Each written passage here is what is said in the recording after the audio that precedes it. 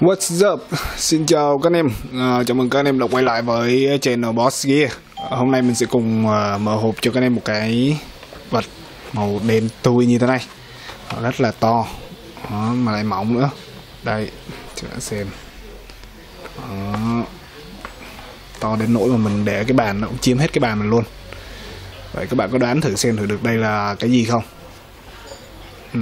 Nếu mà nhìn sơ qua thì cho các bạn cũng biết được đây là cái con bát chuột rồi. Và nó sẽ là của hiệu gì? Và nó sẽ có những chức năng gì? Mình sẽ cùng mở hộp cho các bạn xem ngay đây nhé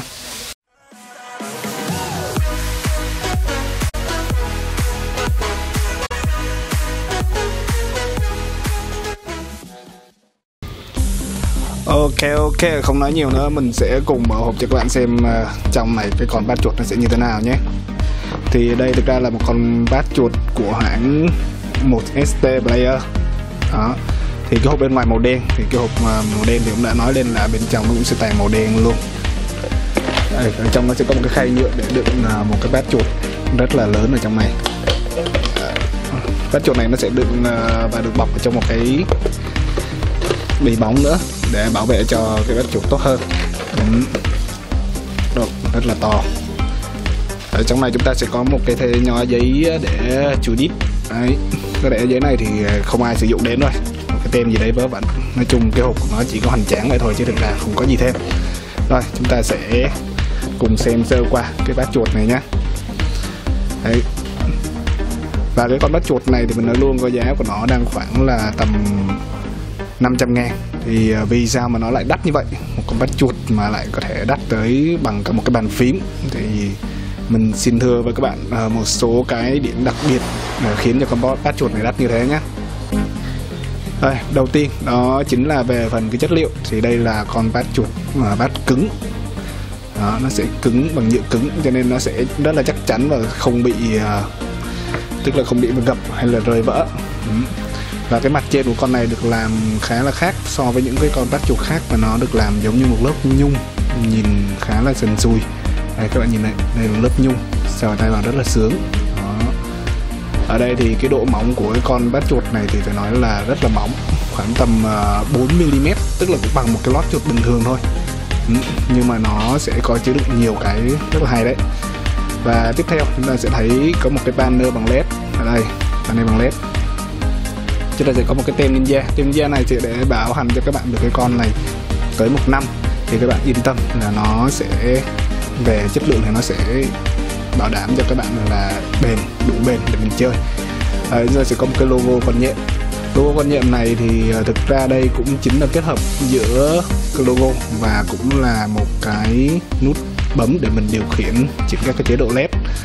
À, ngoài ra chúng ta có chữ new à, invader. Đó. Và có logo một ST player ở đây. Đây là một cái hãng chuyên sản xuất game.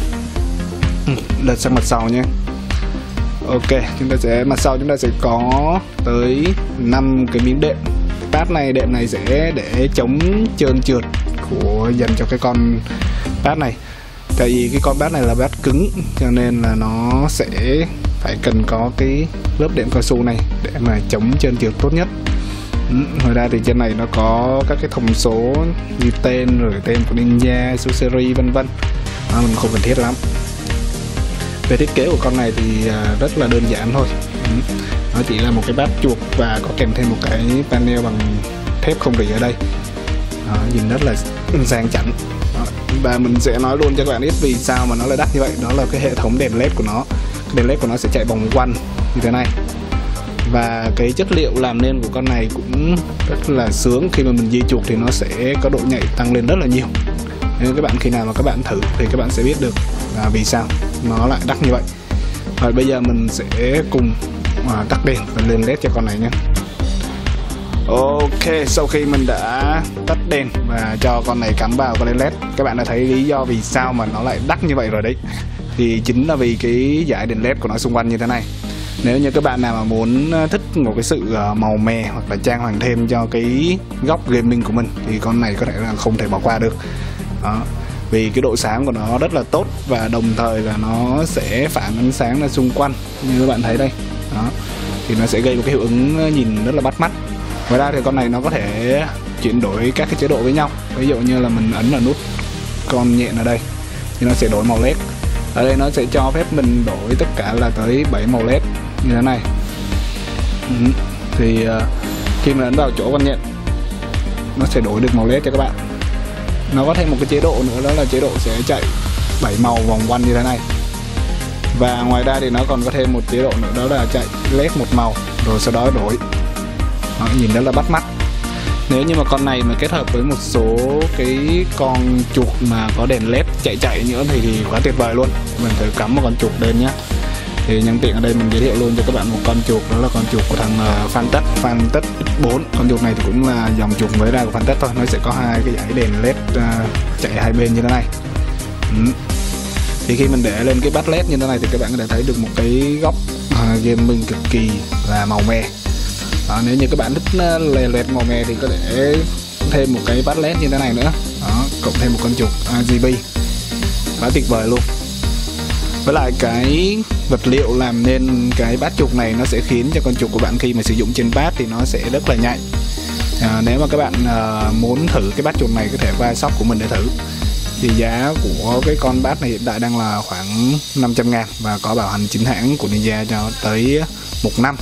Thì à, nếu các bạn thích thì sẽ có link phía bên dưới mô tả các bạn có thể click vào để đặt mua rồi bây giờ mình sẽ thử cho bạn xem một số cái góc quay à, dành cho con này trong ban đêm nhé mình xem à, thử mà nếu như mà kết hợp với lại à, một con chuột led thì nó sẽ như thế nào.